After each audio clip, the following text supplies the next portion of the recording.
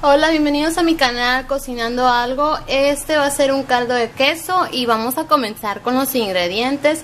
Vamos a utilizar tres papas, un tomate, cilantro, dos chiles verdes, cebolla, también puedes utilizar ajo si es que tienes, dos o tres litros de agua purificada, medio litro de leche o un o un litro.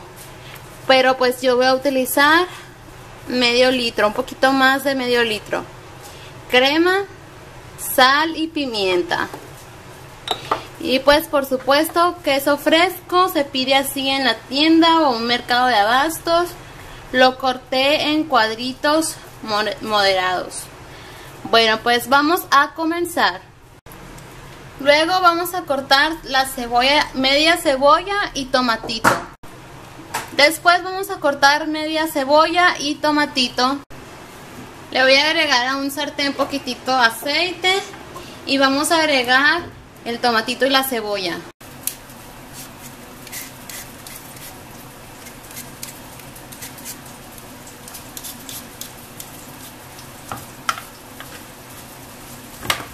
Los, los cuadros de las papas tienen que ser de este tamaño, como de un centímetro por un centímetro, ya que si las cortas demasiado grande, al momento de estarte comiendo la, el caldo, al agarrar una cuchara, pues solamente va a caer una papa.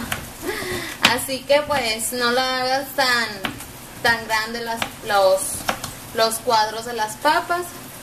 Vamos a, picar las tres papas. Mientras que se está pregrisando, pues está guisando la cebolla y el tomate, están juntándose los sabores. Y ahorita que agreguemos las papas, pues se van a, a guisar todo junto. El fuego de, de las, de aquí de las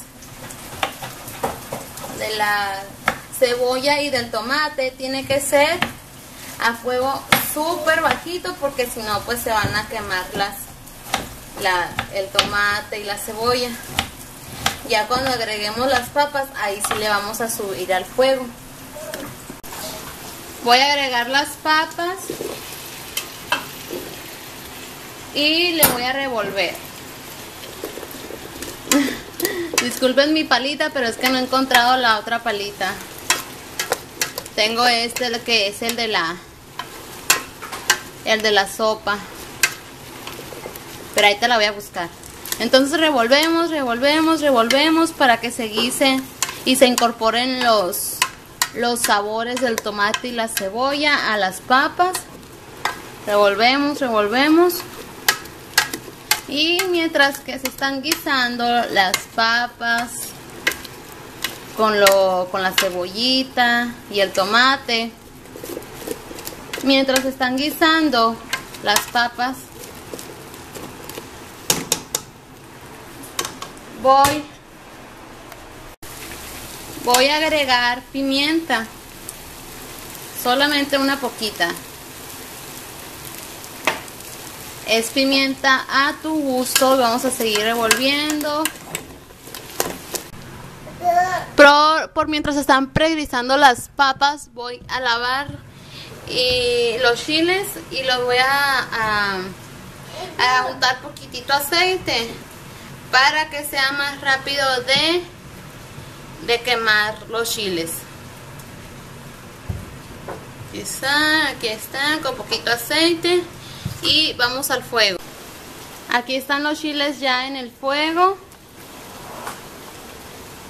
Las papas ya están y es momento de agregarle el agua. Bueno, le voy a agregar el agua. Y voy a tapar. Encontré mi palita. Voy a tapar y lo voy a tener a fuego medio.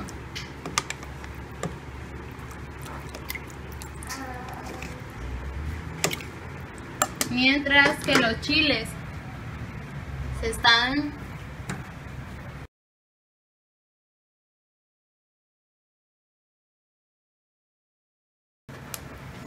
y ya me acordé de la palabra esta temar una vez que se estén tatemando los chiles ya casi están vean.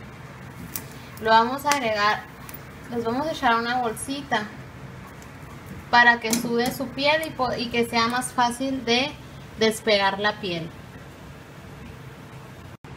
Bueno, pasaron 15 minutos y yo le voy a agregar ya la leche.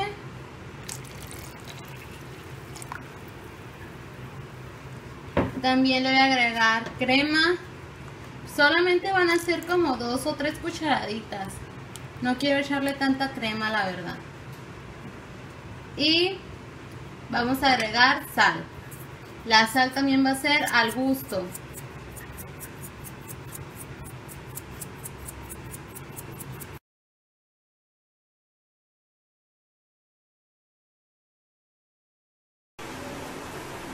Voy a agregar los chiles. Si se fijan, ya está hirviendo. En este momento es cuando yo ya agrego el queso porque no me gusta que el queso se desbarate o se bata. Entonces agregué el queso y ya no le revuelvo tanto para que no se bata. Ahora sí voy a emplatar, si supieran lo delicioso que huele toda la casa está impregnada. Entonces ya voy a emplatar para comer.